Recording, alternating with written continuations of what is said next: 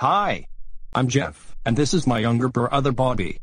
And today, me and Jeff are going to change into our pajamas.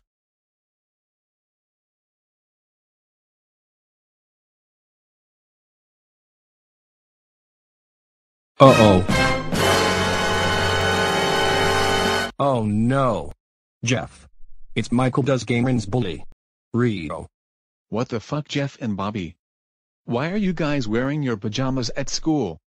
That's it. I am telling Vice Principal Hajime on you guys. So. Why did you bring Jeff and Bobby into my office? Well Vice Principal Hajime. Jeff and Bobby changed into their pajamas. And it made me feel like they want to sleep at school.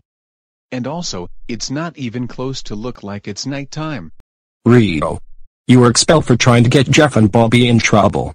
The reason why they changed into their pajamas is because it's Spirit Week. And today is Pajama Day. And I don't give a flying cupcake if I'm not wearing my pajamas today. Get your butt out of this school right now. You stupid bad boy. And please. Enjoy wearing diapers, eating baby food, and watching baby shows.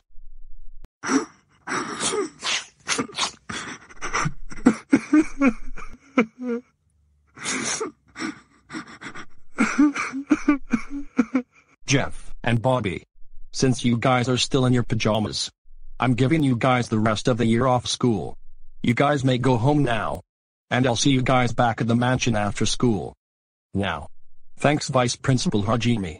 We'll see you back at the mansion. Wow Jeff, and Bobby.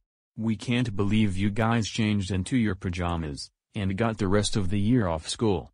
You guys are now ungrounded.